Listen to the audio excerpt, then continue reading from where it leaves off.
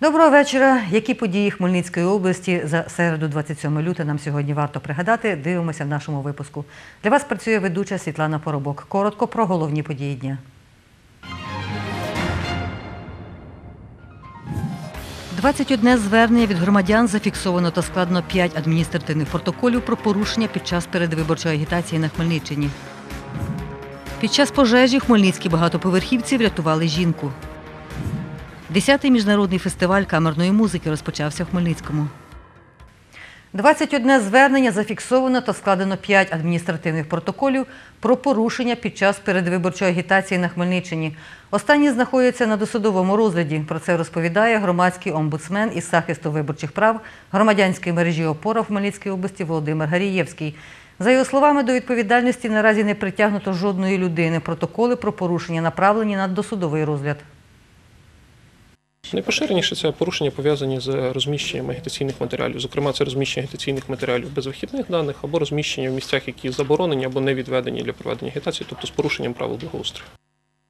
Чотири кандидати в президенти відвідали Хмельниччину у лютому. Про це розповідає координатор спостереження громадянської мережі опора за виборами Хмельницької області Андрій Попик.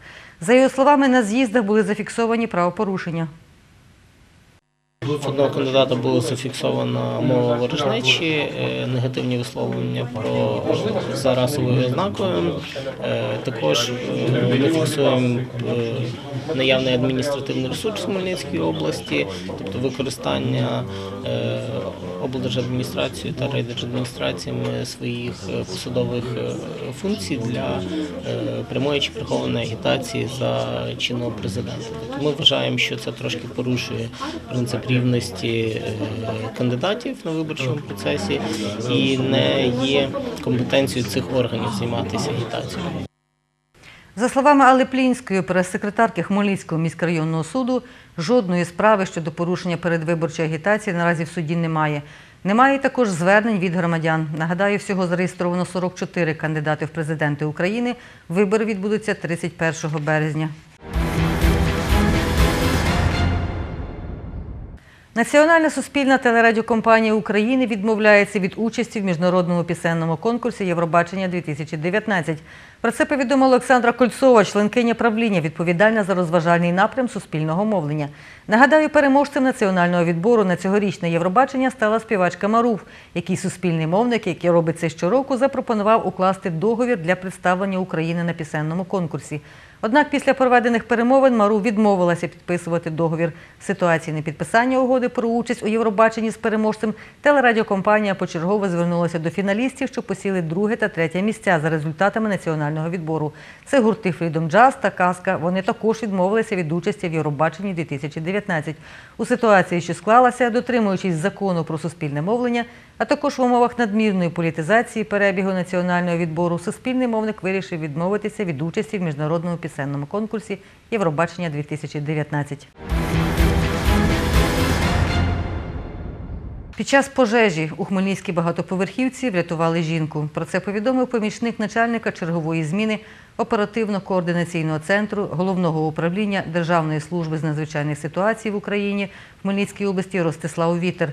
За його словами, горіла квартира на 9-му поверсі на вулиці Подільській. Під час гасіння полум'я рятувальники виявили 50-річну жінку. Їй надали медичну допомогу. Ймовірну причину пожежі наразі встановлюють. Е, До місця події одночасно було направлено три автоцистерни, автодрабина та колінчастий підйомник. По прибуттю було встановлено, що вогнем охоплено балкон та житлова кімната. В даній квартирі знаходилась жінка, яку було врятовано. Пожежу було ліквідовано в тих розмірах, яка вона набула до прибуття підрозділу. Піжний захід у вигляді тримання під вартою обрали командири однієї з військових частин Рівненщини, якого хмельницькі слідчі затримали на отриманні неправомірної вигоди. Про це повідомила прес-секретарка військової прокуратури Західного регіону України Юлія Галущак. За її словами, військового триматимуть під вартою два місяці. Нагадаю, хмельницькі слідчі встановили, що військовий вимагав 10 тисяч доларів США від підприємця за укладання договорів про закупівлю та встановлення обладнання на території підпорядкованої військової частини.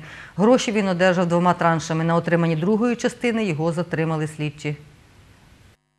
Хмельницький міськрайонний суд Хмельницької області обрав командиру однієї військових частин запобіжний захід у вигляді тримання під вартою. Термін на 60 діб. Як альтернативу суд визначив можливість внесення застави, призначив 384 тисячі 200 гривень, е, які підозрювані мають час нести впродовж двох місяців. Також правопорушника відсторонено від займаної посади.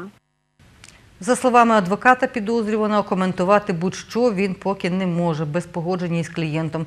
Тож чи подаватимуть апеляцію на рішення суду, прокоментує не раніше, ніж завтра. Ораторією Великого Бажайте відкрили 10-й міжнародний фестиваль камерної музики в Хмельницькому. Це музичний твір сучасного українського композитора Ігоря Щербакова на текст заповіту патріарха Йосипа Сліпого та канонічні тексти. Ораторію виконали музиканти академічного симфонічного оркестру Хмельницької обласної філармонії з академічною хоровою капелою Українського радіо. Подробиці в сюжеті Тетяни Ворожцової. І ви не побачите мене більше. Бо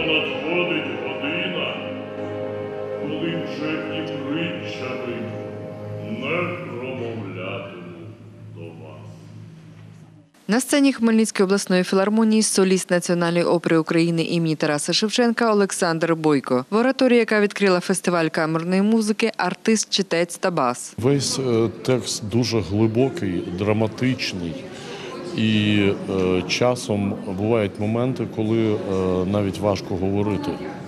От він е, цей текст він повністю поглинає мене як, е, як актора, як виконавця, і тому мені навіть, навіть якось не, не потрібно думати е, про те, щоб е, грати е, як актор. Ораторія київського композитора Ігоря Щербакова написана на заповіт патріарха Йосипа Сліпого. В цьому музичному творі розповідається про нього як про духовного пастиря, так і про ув'язнення в тюрмі. Віру Йосип Сліпий проніс через все життя, каже священник Української греко-католицької церкви отець Зіновий Маланюк. Це є справді хороша музика, котра дуже в поєднанні з молитвою вона дає хороший результат і дає справді таке відчуття чогось вищого, відчуття того, що ми е, на цій землі тимчасово. Ми направлені, ми прагнемо до чогось вищого. В даному випадку музика, на мою думку, дуже вдало підкреслює і наповнює людиною тою життєвою енергією і підтримує на деколи на крутих поворотах життя і допомагає піднятися, встати і йти далі.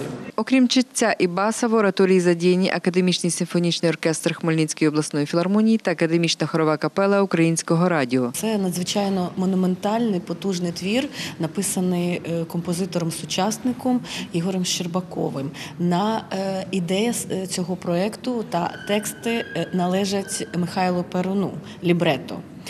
Е, Проєкт унікальний тим, що е, тут зібрані тексти Йосипа Сліпого, видатної постаті України, та канонічні тексти нашої української е, католицької церкви. Автор ідеї та літературної основи ораторії Михайло Перун спільно з композитором Ігорем Щербаковим над музичним твором працювали протягом двох років. За його словами, в ораторії майстерно поєднані тексти зі святого письма, християнських молитов та заповіт патріарха. З моєї точки зору, ця ораторія вдалася е, композиторові, адже властиво музичною мовою е, він зміг передати духовний світ патріарха Йосипа Сліпого, тому що ми властиво намагалися передати ті цінності, які патріарх Йосип ніс. І для української церкви, і для українського суспільства це служіння ближньому, це служіння Богові, і найважливіше це є єдність української держави і українських людей. І властиво ті думки е, вдалося е, музично продемонструвати е, композиторові. Триватиме 10-й міжнародний фестиваль камерної музики до 10 березня. Тетяна Ворожцова, Олександр Горішевський. Новини Поділля. Центр. Скляний бокал ручної роботи віднайшли під час археологічних розкопок у палаці Синявських. Розташований він на території історико-культурного заповідника Межибіж. За словами директора закладу Олега Погорільця, це перша вагома знахідка у цьому році. Це фрагменти скла, які археологи віднайшли під час зачистки підлоги на першому поверсі палацу Синявських. Таких нараховують 19. Саме з них працівники державного історико-культурного заповідника Межибіж складають бокал. Всі візерунки на ньому зроблені прорізані, прорізані, і вони складають такий розсино-геометричний орнамент. Але найбільша несподіванка для нас була це те, що цей кубок складається з двох половинок. Вони скручуються, денце і сам бокал скручується за допомогою різьби. Це дуже складна технологія нарізати різьбу на склі. Скляний бокал датують кінцем 18-го, початку 19-го століття, розповідає Олег Погорілець. Цей кубок е, може бути навіть якийсь подорожній. Він складався в коробку і складався з двох частин. І ось за допомогою різьби нижня частина прикручувалася до верхньої. А з практичної сторони ми завжди знаємо, що коли падає бокал чи кубок, то б'ється верхня частина в основному.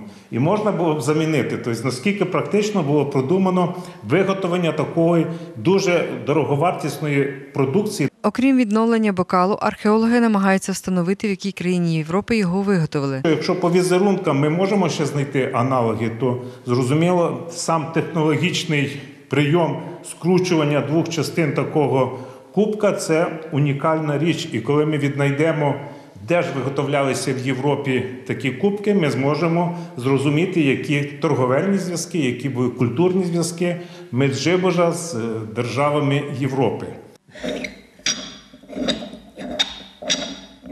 Після реставрації скляного бокалу його експонуватимуть у музеї Меджибіської фортеці. Ось такий гарний експонат світового рівня, тому що такі предмети дуже дороговартісні. Е, Вони знаходяться в колекції великих музеїв. Наприклад, оце музей е, Палац Вільянові під Варшавою. Ну і по іншим музеям, в тому самому і Луврі, і в берлінських музеях є гарні колекції скла. І я надіюсь, що наші подальші дослідження нам принесуть ще не один такий подарунок, такий сюрприз, який стане окрасою наших музейних експозицій. Тетяна Ворожцова, Олександр Горішевський. Новини Поділля Центр. Команда Антонінського ліцею Красилівського району перемогла у міжшкільному чемпіонаті інтелект-шоу IQ Поділля. Семеро школярів найкраще впоралися з інтелектуальними завданнями та вправами на спритність і фізичну підготовку та випередили на 4 бали суперників з Чорного острова Хмельницького району. На третьому місці школярі Красилова. Відбувалися змагання учнів шести шкіл районів Хмельниччини в Великочернятинській загальноосвітній школі 1-3 ступенів Старокостянтинівського району. Бідолашний дом. Він знайшов золото і що зробив бідолашний дом? Час. Школярі шести команд навчальних закладів Хмельниччини змагаються за звання найрозумніших та найспритніших, бо інтелект-шоу це ще й завдання на фізичну підготовку, як оцей етап, який зветься визволення полонянок. Захоплених у полон є шість дівчат, і саме стільки максимально балів може отримати команда за проходження всіх перешкод. Випробування е, відрізняються складністю і підібрані індивідуально до кожної дитини. Є випробування меншої складності, такі, наприклад, як е, вибивання е, слитка, що там ну, не потрібно особливої фізичної підготовки. Є випробування е, більшої складності, така як стрільба із е, лука. Трішки більшої е, необхідності фізичної підготовки потребує переправа по колодах. Ну, звичайно, щоб переправитись по навісній драбині, потрібно, щоб е, фізично е, була дитина підготовлена, хоча б підтягувалася як мінімум 8-10 разів. Найкраще впоралися з цим завданням старшокласники Антонінського ліцею Красилівського району. Вони визволили з полону всіх шістьох українських бранок. Члени команди кажуть, спеціально до цих завдань не готувалися. Імпровізація. Після чотирьох етапів команда Антонін попереду, а чотири команди Красилова, Чорного острова, Хмельницького району, Ярмолиниці, Грицева, Шепетівського району набрали однакову кількість балів і для них влаштовують додаткове інтелектуальне завдання. У підсумку в фіналі змагаються команди Антонін, Красилова і Чорного острова. Тут, крім загальних знань, потрібні спритність і влучність. Без них учасникам не дістати підказок. Після всіх випробувань старішини оголошують вердикт. Перемогла команда Антонінського ліцею, яка отримала сертифікат на 5 тисяч гривень від департаменту молоді і спорту обласної державної адміністрації. Ми їхали, ми навіть не знали, на який конкурс. Нам сказали, що, по- інтелект. Ми навіть не розуміли, що маємо робити. Ми навіть не сподівалися на перемогу, навіть не думали, що так вийде. Зібралися всі разом, ми зрозуміли те, що ми команда, і просто діяли всі зібрано. Це е, сертифікат е, і дає право використати е, путівку чи путівки. Може бути якась мандрівка для команди переможця в весняний літній період. На 4 бали менше здобула команда Красилова. Вона на другому місці. На 8 балів менше від переможців набрали школярі Чорного острова. Вони на третьому місці. Змагання відбувалося в селі Великий Чернятин, бо тут автори проекту інтелект-шоу IQ Поділля облаштували базу. Тут вчителем історії працює один із трьох авторів Сергій Шпідько. Продовж гри дуже важко команді. Тільки найсильніші проходять, тому що потрібно, ви бачили, не тільки мати розум в голові, але ще й певні такі ну, на е, фізичні вправи. на За словами Сергія Шпідька, інтелект-шоу автори влаштовують 3-4 рази у рік. Кожного разу до участі запрошують учнів інших навчальних закладів області. Світлана Поробок, Вероніка Лифар. Новини Поділля Центр. 41 дівоча волейбольна команда України Ю-15 завершили другий тур національного чемпіонату з пляжного волейболу. Змагалися дівчата Новій Каховці Харківської області, повідомляє тренер Дережнянської дитячо-юнацької спортивної школи Юзефа Слівінська. За її словами, чотири команди Хмельницької області увійшли в десятку кращих, а дві пари її вихованок стали призерками в другому турі. Друге місце посіли 14-річні Вероніка Пекнич і Мілена Мантур. На, другому, на третьому місці після двох турів Софія Щукіна та Катерина Біляк. Спортсменки також молодші від учасник чемпіонату України. 22 березня в Чорноморську відбудеться фінал змагань. Юзефа Слівінська каже, зимовий чемпіонат з пляжного волейболу дає можливість її вихованкам належно підготуватися до літніх стартів. Перше місце у фінальному турі легкоатлетичних дитячих змагань міської ліги вибороли учні спеціалізованої середньої загальноосвітньої школи номер 29 Про це повідомив директор міського центру із роботи з дітьми та підлітками Олексій Янчук. За його словами, друге місце посіла команда навчально-виховного комплексу номер 4 третя сходинка у команди гімназії номер 2 Переможці мають можливість представляти Хмельницький на етапах Західноукраїнської ліги. Наш випуск на цьому завершено. Всі, хто його готував, бажають вам гарного вечора.